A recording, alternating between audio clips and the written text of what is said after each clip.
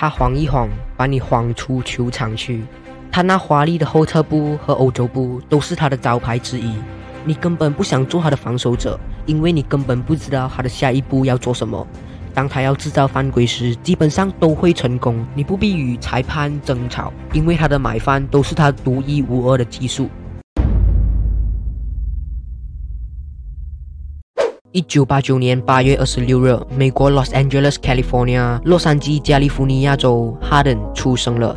哈登来自一个单亲家庭，他的父亲在他很小的时候因贩毒被判入狱了。哈登的父亲出狱后也没有丝毫悔改，所以这样就让哈登从小就失去父爱。哈登以前都是妈妈一个人一手抚养长大的，因此他与母亲的关系十分要好。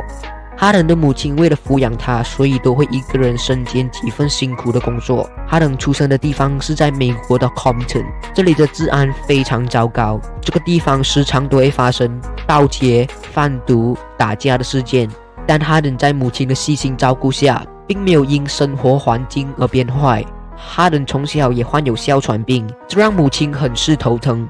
但哈登的母亲发现哈登喜欢打篮球，而他也因时常打篮球，哮喘也渐渐好转。所以从小母亲就非常支持哈登打篮球。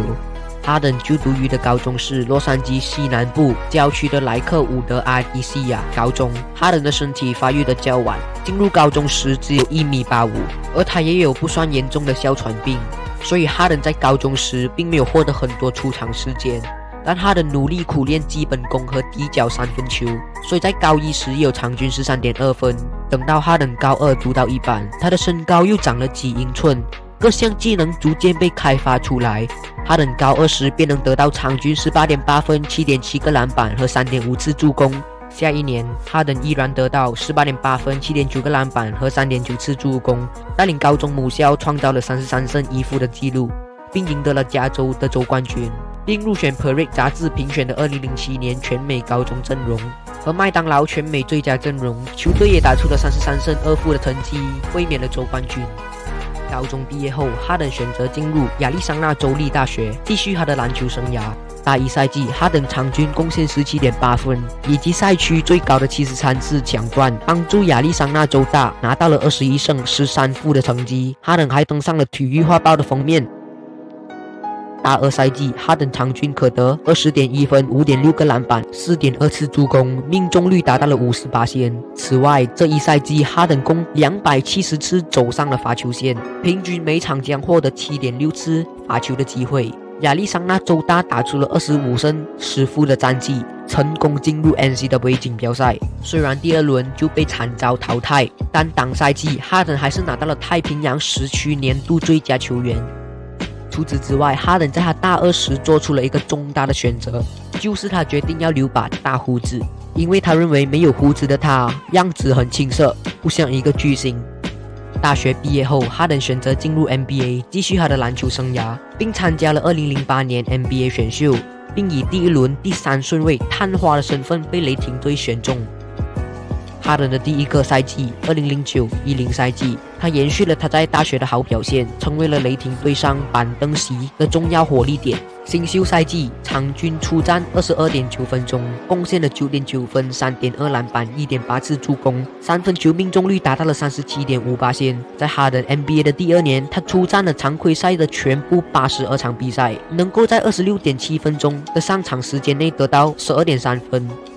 二零一一年季后赛中，他逐渐获得重用，上场时间增加到了场均三十一点六分钟，以四十七八线的命中率得到了十三分。虽然哈登不能以先发为雷霆队出战，只能以第六人的身份出战，但他并没有抱怨，而是做好他的本分，并在二零一二年得到了最佳第六人的殊荣。而这年雷霆也挺进冠军赛，但可惜败给了迈阿密热火队，无缘总冠军。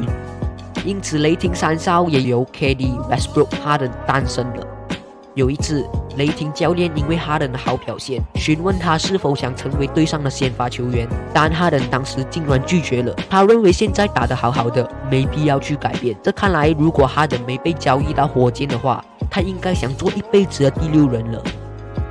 二零一二年十月二十八日，雷霆为了留住当时正值巅峰的 Serge Ibaka，所以 Houston Rocket 送出了 Kevin Martin、Jeremy Lamb 以及未来选秀权到雷霆队。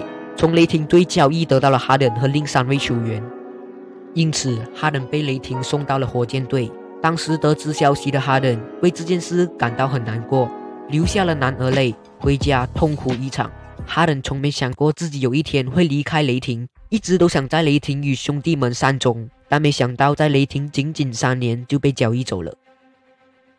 二零一二年十一月一号，哈登第一次穿着火箭的球衣，第一次以首发上场，在 Toyota Arena 比赛。他在火箭的第一站得到了三十七分、六篮板、十二助攻、四抢断、一盖帽的成绩，在第二站也得到了四十五分的好表现，告诉雷霆你们错了。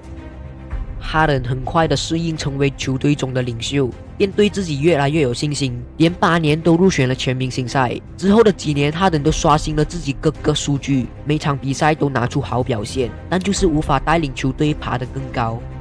二零一五一六赛季，火箭更是在季后赛首轮就惨遭勇士以四比一淘汰。当时的哈登深受大家的质疑，说他根本不能扛大旗，他不适合做领袖之类的。但哈登走出来了。他想改变，他想告诉质疑他的人，你们都错了。